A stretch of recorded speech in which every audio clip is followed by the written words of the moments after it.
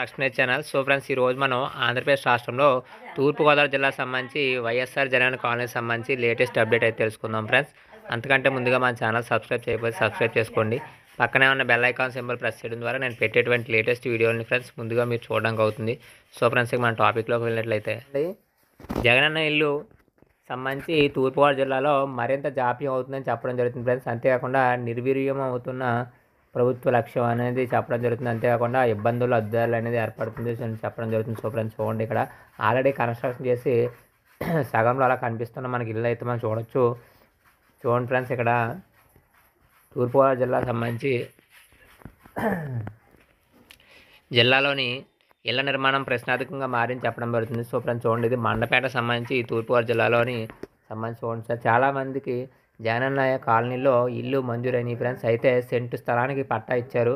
అధికారులు దగ్గరు దగ్గరుండో లేదా శంకుస్థాపన చేయించారు ఫ్రెండ్స్. అదేవిధంగా ప్రతి లబ్ధిదారుడు శంకుస్థాపన చేసి నిర్మాణం ప్రారంభించాలని ప్రభుత్వ ఆదేశాలు అయితే జారీ చేయడంతో కొందరు ముందడుగు వేశారు ఫ్రెండ్స్. ఎందుకంటే శంకుస్థాపన అయితే చేశారు కానీ ఇంటి నిర్మాణానికి అవసరమైన డబ్బులు లేక ఇబ్బందులు అయితే ఎదుర్కొంటున్నారు. కొందరు మహిళల సంఘాలు మహిళా సంఘాలతో లేకపోవడం వల్ల బ్యాంక్ నుంచి రుణాలు రావడం లేదని చెప్పడం జరుగుతుంది ఫ్రెండ్స్. చూస్తున్నారా?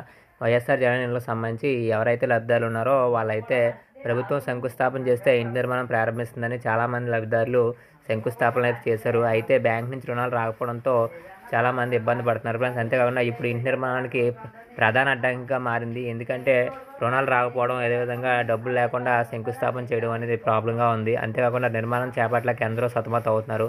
సొంత ఇంటి కళ నెరవేర్చుకోవడానికి దిక్కులు చూస్తున్నారు ఫ్రెండ్స్. ఎందుకంటే జిల్లాలో జగనన్న కాలనీలో సొంత ఇంటి నిర్మాణానికి రెండు లక్షల డెబ్బై వేల మంది లబ్ధిదారులను గుర్తించారు ఫ్రెండ్స్. చూస్తున్నారు కదా ఇది ఆంధ్రప్రదేశ్ రాష్ట్రంలో తూర్పుగోదావరి జిల్లాకు సంబంధించి మొత్తం లబ్ధిదారుల సంఖ్య రెండు లక్షల డెబ్బై వేలుగా ఉంది ఫ్రెండ్స్. ఇందులో ఆరు వేల మందికి సొంత స్థలాలు ఉన్నాయి. అంతేకాకుండా మిగిలిన వారికి ప్రభుత్వ స్థలాలను సమకూర్చి పల్లెల్లో సెంటున్నర అదేవిధంగా పట్టణాల్లో సెంటు స్థలం ఇచ్చి చొప్పున అందించనున్నారు. సో ఫ్రెండ్స్ ఇళ్ళ నిర్మాణం ప్రారంభించాలని ఆదేశాలు జారీ చేసింది ప్రభుత్వం. అయితే శంకుస్థాపన చేయకపోతే పట్టాలు తిరిగి తీసుకుంటామంటూ ప్రతిపాదనలు కొన్ని చోట్ల హెచ్చరికలు అయితే జారీ చేశారు. దీంతో పట్టాలు పొందిన లబ్ధిదారులంతా ముమ్మర మూకుమ్మడిగా శంకుస్థాపన చేశారు. హోమ్ హోమ్ నిర్మాణాలు వద్దకు వచ్చేసరికి అంతా వెనకడుగు వేస్తున్నారు ఫ్రెండ్స్. ఎందుకంటే కేవలం పది శాతం మంది మాత్రమే నిర్మాణాలు చేపడుతున్నారు. ప్రభుత్వం ప్రతి ఇంటికి లక్ష ఎనభై వేల రూపాయల రాయితీ అయితే సమకూరుస్తుంది. అర్బిదారులు సిమెంటు ఇసుక అదేవిధంగా ఐరన్ను సమకూర్చుకుంటే వారి ఖాతాలో సొమ్ము జమ చేస్తుంది. అదే ప్రభుత్వం నిర్మాణ సామాగ్రి సరఫరా చేయాలంటే లక్ష ఎనభై వేలకు సరిపడా ఇనుము సిమెంటు ఇసుక అందజేస్తుంది. అంతేకాకుండా చూడండి ఫ్రెండ్స్ జగనన్న కాలంలో ప్రతి ఒక్కరికి ఉచితంగానే